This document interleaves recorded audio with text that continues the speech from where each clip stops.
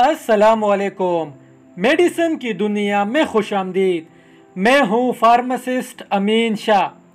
Viewers आज की video में हम रिव्यू करेंगे एस्टीमोम टेबलेट के बारे में, जिसकी फॉर्मुलेशन है मिसोप्रोस्टोल। एस्टीमोम टेबलेट, यानी मिसोप्रोस्टोल किन किन बीमारियों के इलाज के लिए इस्तेमाल की जाती है? इसके फ़ायदे कौन कौन से हैं? नुकसानात कौन कौन से हैं? और एस टीमोम टेबलेट इस्तेमाल करके आप किस तरह 12 हफ्तों तक के हमल को आसानी से ख़त्म कर सकते हैं। ये सब हम आपको आज की वीडियो में आसान अल्फाज में समझाएँगे। आगे बढ़ने से पहले नए आने वाले दोस्तों से गुजारिश है कि हमारे चैनल मेडिसिन की दुनिया को ज़रूर सब्सक्राइब कीजिए, ताकि मेडिसिन के बारे में मुख्तलिफ़ बीमारियों के बारे में हमारी मुफीद और मालूमती वीडियोस आप तक बर वक्त पहुँचती रहे। विवर्स मुख्तलिफ़ दर्द कुश अद्वियात जैसा कि एस्प्रिन, आइबुप्रोफिन, नेप्रोक्सिन और डिक्लोफेनिक वगैरह, इन अद्वियात के इस्तेमाल से स्टमक अल्सर यानी मैदे में ज़ख़म पैदा होने का ख़तरा होता है। ख़ास तौर पर ऐसे लोग जो पहले से मैदे की किसी बीमारी का शिकार हो, उनमें यह ख़तरा और ज़्यादा बढ़ जाता है।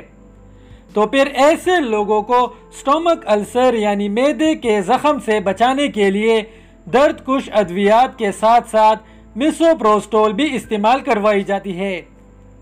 मिसोप्रोस्टोल के इस्तेमाल से मैदे में तेज़ाब बनने का अमल आहिस्ता हो जाता है, जिसकी वजह से मैदे की जलन और तेज़ाबियत का ख़त्मा हो जाता है।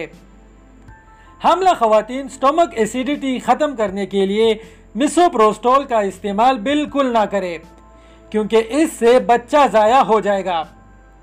एस्टीमोम टेबलेट यानी मिसोप्रोस्टोल प्रेगनेंसी ख़त्म करने के लिए भी दुनिया भर में इस्तेमाल की जाती है। अबॉर्शन यानी इसकात हमल के लिए एस्टीमोम टेबलेट का इस्तेमाल हमल के इब्तदाई आठ से बारह हफ्तों तक कारामद रहता है। इसके बाद ये अमल कदरे पेचीदा बन जाता है। यानी एस्टीमोम टेबलेट के इस्तेमाल से आप 12 हफ्तों तक के हमल को आसानी से ख़त्म कर सकते हैं। अक्सर लोग ये सवाल करते हैं कि सेल्फ अबॉर्शन के लिए एस्टीमोम टेबलेट किस तरह इस्तेमाल करें? इसका जवाब ये है कि अबॉर्शन के लिए एस्टीमोम टेबलेट की मकदार का ताल्लुक आपकी प्रेगनेंसी की ड्यूरेशन पर मुनहसर है। यानी अगर आप चार हफ्तों की प्रेग्नेंट है तो आपके लिए एस टी मोम टेबलेट का डोज अलग होगा। और अगर कोई बारह हफ्तों की प्रेग्नेंट होगी तो उसके लिए डोज अलग होगा।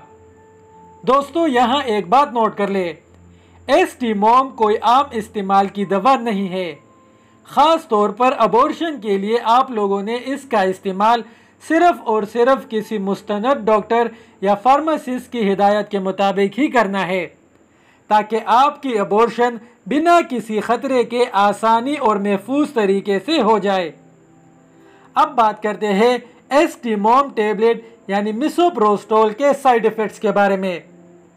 एस्टीमोम टेबलेट इस्तेमाल करते हुए आपको इन साइड इफ़ेक्ट्स का सामना करना पड़ सकता है। डायरिया चक्कर आना, उल्टी, पेट का दर्द, गैस कब्ज सर दर्द हीस का दर्द और हैवी विजाइनल ब्लीडिंग इन कैफियत की सूरत में अपने डॉक्टर या फार्मासिस्ट से रुजू करें।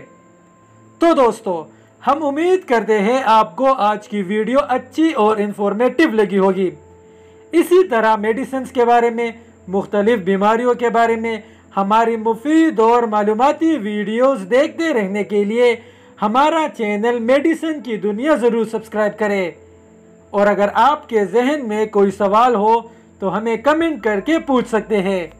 शुक्रिया।